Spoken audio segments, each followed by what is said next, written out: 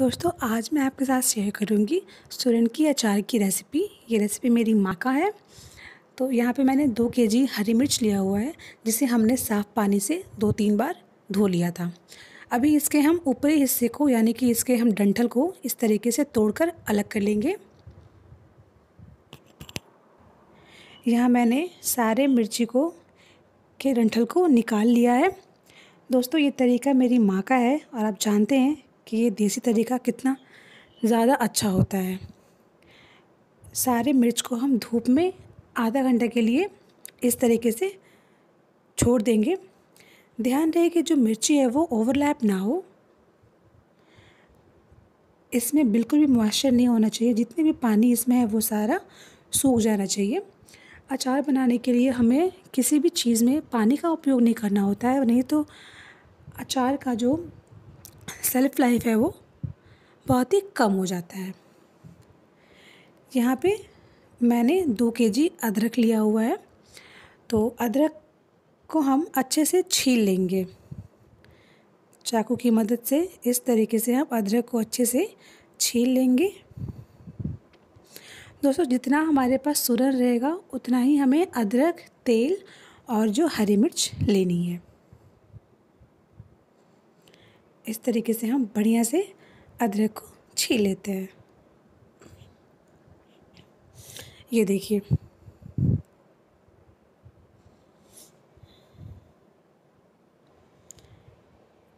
ये हमने सारा अदरक को इस तरीके से छील लिया। दोस्तों, हमारे हमारे भाषा में तो जिमीकंद को हम सुरन या ओल बोलते हैं। आप बताइए कि आपके भाषा में इसे क्या बोलते हैं? कमेंट करके बताइएगा मुझे। अब हम अदरक को भी धूप दिखा देते हैं। तो इसे भी हम आधे से एक घंटे के लिए धूप में डाल देते हैं। फैला दे इसे। किसी भी चीज़ में मॉइस्चर बिल्कुल नहीं चाहिए। यहाँ पे मैंने सुरन लिया हुआ है। ये सुरन दो के जी है। जैसा कि मैंने बताया था कि हमें सब चीज़ों की क्वांटिटी इक्वल चाहिए। सूरन को हम इस तरीके से छील लेंगे। ध्यान रहे कि आप सूरन को ग्लव्स लगा कर ही उसको छीलें, वरना हाथों में बहुत ज़्यादा खुजली हो जाएगी और बर्दाश्त नहीं करने पाओगे। तो क्योंकि हम देसी आदमी हैं तो हमने तो पॉलीथीन से ही काम चला लिया तो आप ग्लव्स लगा लें, उसके बाद ही इसे आप छीलें। इस तरीके से हमने सुरन को छील कर और उसको इस तरीके से काट लिया था। तो दोस्तों, आप ज़रूर ग्लव्स लगाएँ, वरना आप उछलते कूदते परेशान हो जाओगे, बहुत खुजली होती है हाथों में, या फिर आप तेल लगा कर भी उसे छील सकते हो। ये हम सूरन को ल्यूक वार्म वाटर से साफ़ करेंगे।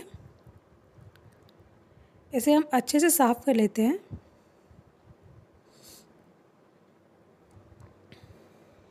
दोस्तों, अगर आप इस तरीके से सूरन का अचार डालेंगे तो अचार जो है वो एक साल से ज़्यादा चलेगा और आप उसे खाते रहोगे, ख़राब नहीं होगा।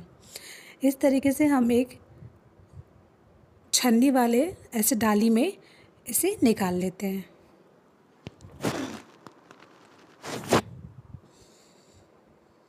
सूरन को हम निकाल लिए और इसे भी हम एक घंटे के लिए धूप में रख देते हैं। हम इसे फैला देते हैं।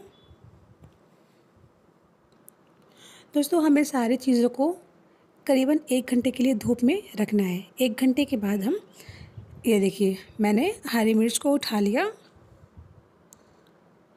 थोड़ा सूखने के बाद जो उसका कलर है वो बदल जाता है। उससे कोई फ़र्क नहीं पड़ेगा।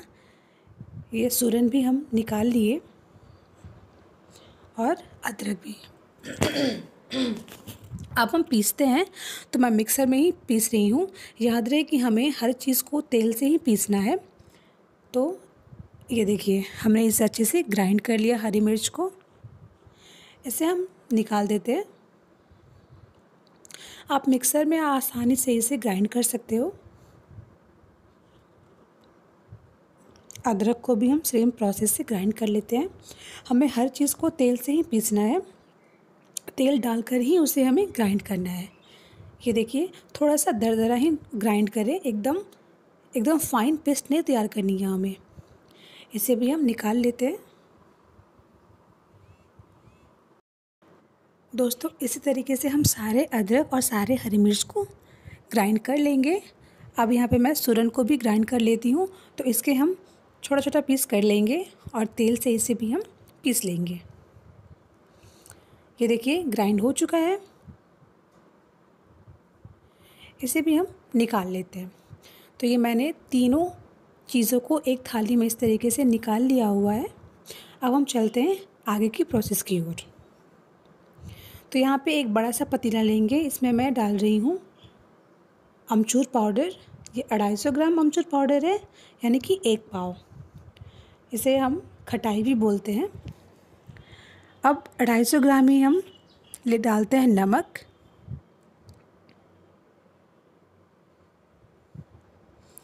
तो दोस्तों, दो के जी सूरन में हम सब कुछ एक एक पाव डाल रहे हैं। अब हमने जो ग्राइंड करके रखा हुआ था, अदरक, मिर्ची और सूरन का, सूरन को उसे हम, उसे भी हम डाल देते हैं इसमें। दोस्तों, अगर आप लहसुन खाना पसंद करते हो तो आप इसे भी ग्राइंड करके डाल सकते हो। इसमें हम एक लीटर तेल और डाल देते हैं और एक लीटर तेल तेल हमारा, जो हम ग्राइंड किया था, उसमें हमारा लग गया था। तो अब हम सभी चीज़ों को अच्छे से, बहुत ही अच्छे से मिक्स कर लेते हैं।